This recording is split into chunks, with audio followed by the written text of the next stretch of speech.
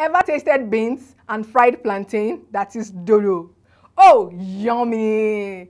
It was the annual cooking competition and everyone was required to prepare his or her favorite meal.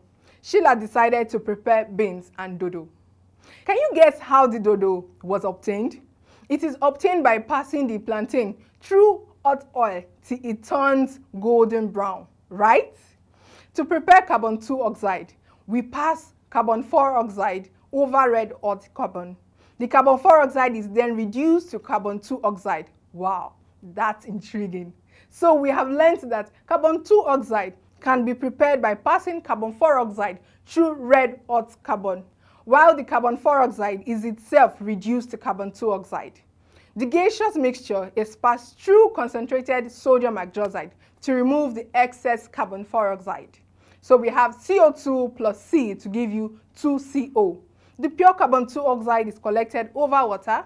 It can also be prepared by the dehydration of methanoic acid, which is your formic acid, or ethanedioic acid, that is the oxalic acid, using concentrated tetraoxosulfate 6 acid.